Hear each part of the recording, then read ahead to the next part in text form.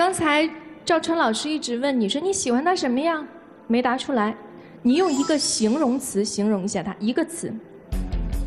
没有。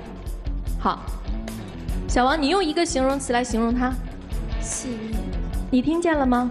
他没有任何词语能形容你。这是第一个问题。第二，你一直在说他可能跟前女友有什么，你就是他的前女友，你可别怪异地恋了，跟异地恋没有关系。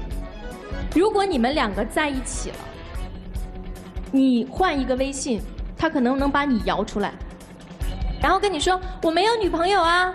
他刚才给我们的理由是什么？是哎呀，我没有必要和陌生人说那些我自己的很多事情。那你跟人家说话干什么呢？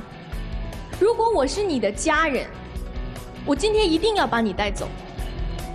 建议第一，上赶着不是买卖，唾手可得的东西人家不珍惜。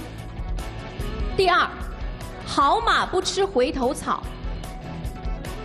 两个月之后他就分手跟别人好了，他还是会这样对你。第三，你在他心里若不是可有可无，他怎会对你忽冷忽热？